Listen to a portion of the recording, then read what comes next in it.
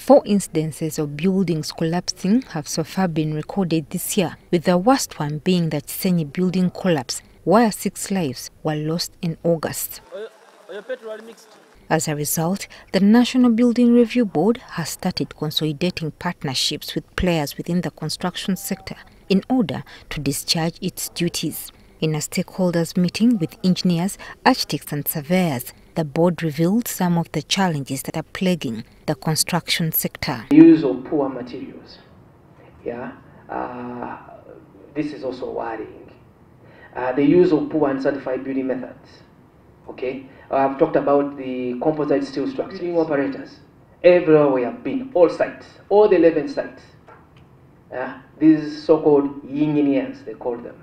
Yes, on all these building sites, they are everywhere. We need to do something about it. In order to address these challenges, it was agreed that professionals should be more involved in the construction of buildings from start to their finish. The involvement of different professionals will also weed out the quacks who have infiltrated the construction sector, putting many lives at risk. The, the interesting thing is that most of the sites where we have had problems of collapse, there are some quacks. And quacks here uh, means those engineers or architects who are not registered. We are going to have campaigns where this police is going to go out, and I think very soon the public is going to see these people. The police is going to go with, with force to handle and, where possible, arrest all those poor masqueraders, engineers or architects who are not certified. The National Building Review Board has welcomed this cooperation. Because each of us has a part to play.